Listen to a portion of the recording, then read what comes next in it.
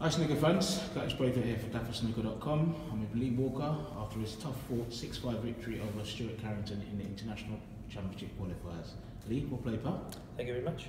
Long game today, tough drawn out game, but Yeah, well yeah, standard for me really. you know, six hours. You know, a bit quick for me there is, but uh, Started off well, didn't he? Finding quite a few breaks at the start of the game, so it looked like you were going to be up against it a bit, but then you. yeah, he, he um, sort of uh, around about. I, I- won the first two frames and was made two good clearances to Yeah. win the first two, and then he he really like a well, he didn't miss for about five or six frames then. So you know, played very well, scored heavy.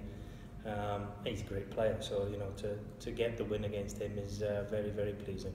You made a good point. That was a very important dish early on. Was it? I think the 60 odd clearance, wasn't it? You were 60 down, weren't you? Yeah, I think I think it was about. Uh, I think the first frame I, I, I sort of won in two hits. I made Yeah. 40 odd, played a good safety, and then cleared up from the green. And then the second frame, I cleared up the last three reds out as well. So you know, and uh, he was dominating the first two frames, to be perfectly honest. So um, yeah, I mean, uh, you know, I, I knew that. Um, you know, I know how good he is. So. Uh, so I'm really pleased to have won that game. Lee, tell us, I just want to touch on your good form, you've been in some really decent form so far this season. Like, what have you been doing differently from last season, and how's the work with Steve Feeney going as well? Yeah, I mean, if the the work with Steve is going great, um, you know, it's it's something totally different, something I've never sort of been working with him for for about 18 months now, coming up two years, and um, you know, it's it's totally different than anything I've ever done before. Um, and uh, yeah, at the moment, it's um, you know, it's, it's given me a lot of confidence. So uh, hopefully, it'll continue. Good man. And how did you find the table conditions out there today?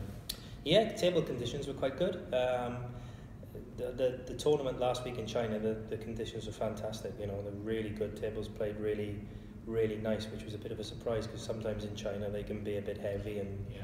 but um, they played. But yeah, tonight they, they, they you know it was they, the table was good. Not quite as nice as China, but but it was still it was still pretty good conditions. Yeah. Good man. Well, look, I'm going to let you go and relax, pal, after that tough fought match. But um, well done. Yeah, I'm going to go and relax now with a nice three and a half hour drive home. and all of us at DafaSnooker.com wish you the best in China, pal. Cheers, thanks, Curtis. Thanks Cheers, mate. Thanks.